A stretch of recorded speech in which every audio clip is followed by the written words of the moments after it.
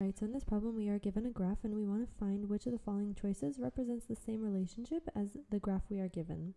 So let's take a look at our graph, um, I mean at our table, and see the relationship between x and y.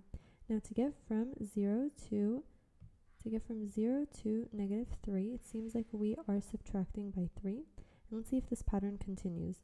If we subtract 2, we, if we do 2 minus 3, we get negative 1. If we subtract 3, we get the right answer. If we keep subtracting 3, this seems to be the correct pattern. Therefore, we can state that y equals x minus 3. Alright, so now that we have a linear function, let's read our um, options. A says y is equivalent to the difference between the value of x and a constant c, where c equals negative 3. Now let's write this out verbally right over here we have y is equivalent to the difference between the value of x and the difference means minus. So we are going to subtract from the constant that we are given, which is negative 3.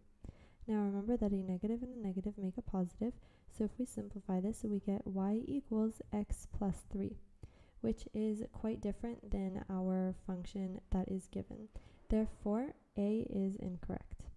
Now let's take a look at B we have another table given with the values of x and y. And so let's let's see if our pattern continues here. If it does, then this will be the correct answer. If we do x, the value of x, which is 10, minus 3, we should get a 7, but here we are getting a negative 13. And as you can tell, this pattern does not continue, and therefore B is also eliminated. Now let's take a look at C. In C, we have a linear function, and if we take two points of this line and plug it into our formula, if the if we get the right answer, then this will be correct. So let's pick two points. Our first point can be 3 comma 0, and our second point can be 0, negative 3. So now let's plug it into our formula. We have y, which is 0, equals x, and instead of x, we're going to be writing 3 minus 3. So that gives us 0 minus 0, which is correct. 0 equals 0, which is correct. Now let's check our second point. We have negative 3 equals x, which is 0, minus 3, and that also gives us negative 3 equals negative 3. Therefore, C will be the right answer, and let's see quickly why D is incorrect.